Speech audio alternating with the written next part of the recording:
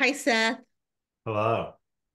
It's good to see you, and it's good to be with everybody for our midweek update. Mhm. And as always, there's a lot. I love the vibrant life of our community together.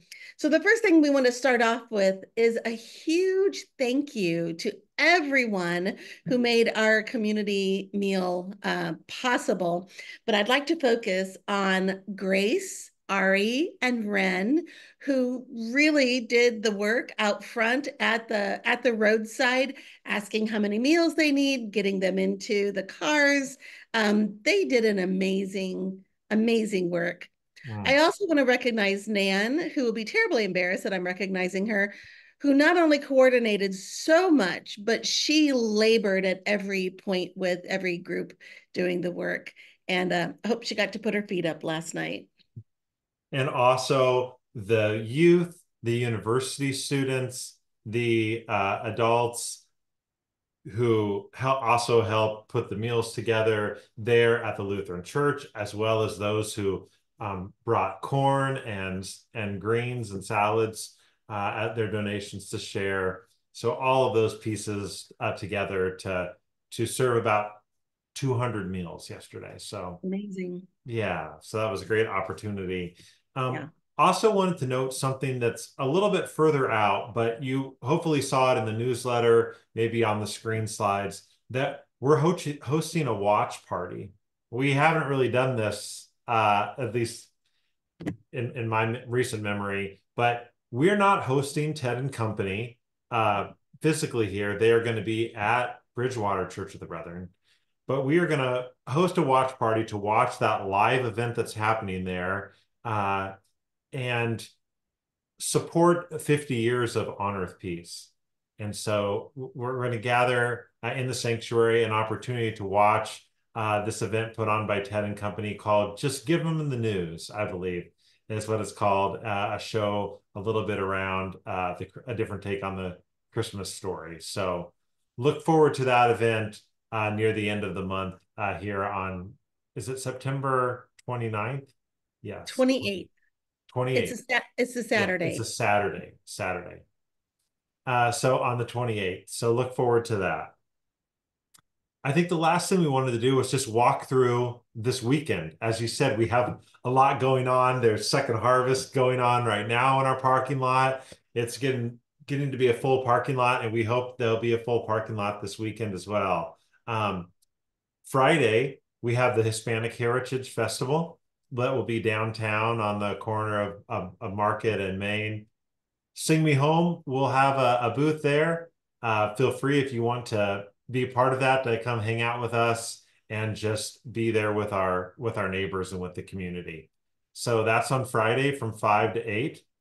Then we also have uh, the Sing Me Home uh, concert series here at the church We'll be over by the pavilion area uh, from five to seven, and then from uh, seven to nine will be indoors uh, for for that. Let me just uh, show you a little schedule that you'll see online. But if you're not on Facebook or any of those things uh, or social media, I just wanted to share it here.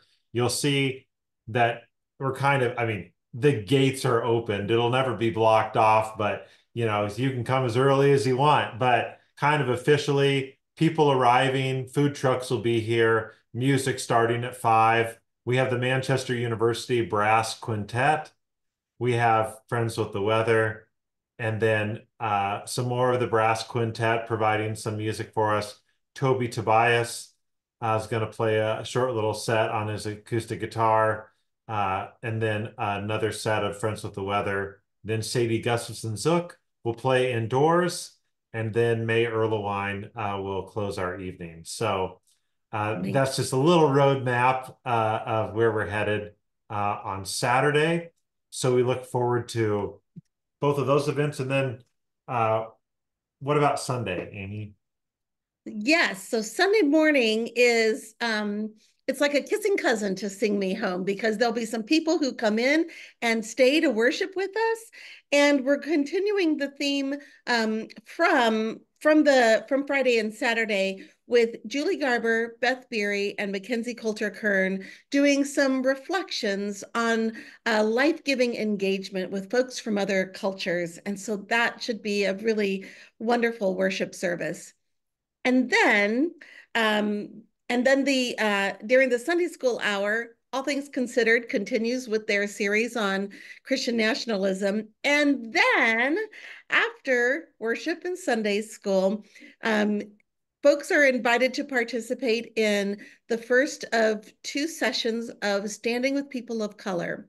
So bring your own brown bag, bring your own little lunch to eat. If you want to share something, that's fine. And the session will be about 90 minutes. And this is a reflection session to deepen our own awareness of um, our engagement with diversity. And uh, we look we look forward to that. Yeah. So yeah, come out to all of these offerings this weekend, but as I mentioned on Sunday, and invite people, share share the, the news of these uh, of these different community gatherings. Invite people to worship to hear these stories about um, you know uh, of people in our congregation and their engagement uh, uh with community members. So we really look forward to uh, friday saturday and sunday. And there's district conference as well happening up at Camp Mack uh, as well. So we definitely you'll you will be there and our delegates and we send our our blessings uh, with that gathering uh, as well. So a lot going on this weekend. Yeah. Good. Well, we'll see everyone um, in in different bits and places, and maybe many people will bump into each other over and over again. Yeah. All right. Take care, everyone. Mm -hmm.